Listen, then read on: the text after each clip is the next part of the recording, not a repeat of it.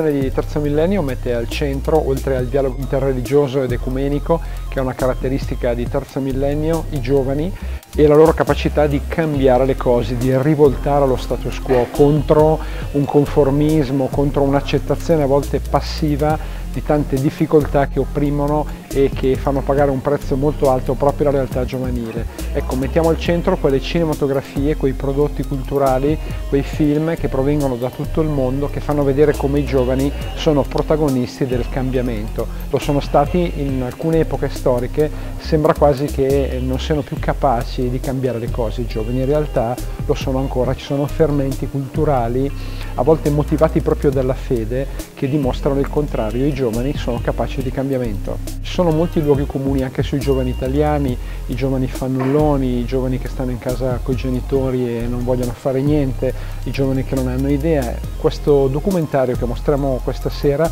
Il fattore umano, spirito del lavoro, fa vedere di tanti adulti che si prendono cura dei giovani e insegnano loro a lavorare, danno l'opportunità per sviluppare delle idee e giovani che prendono in mano il proprio futuro lavorativo e eh, danno, hanno la possibilità di realizzare i propri sogni, di creare occupazione e far crescere il paese secondo le caratteristiche più eh, pregnanti e più originali del, eh, della creatività italiana del Made in Italy. È un documentario straordinario dove molti giovani sono protagonisti ma di cui consigliamo la visione proprio ai giovani per far vedere che le cose possono cambiare anche in un ambito complicato come quello del lavoro.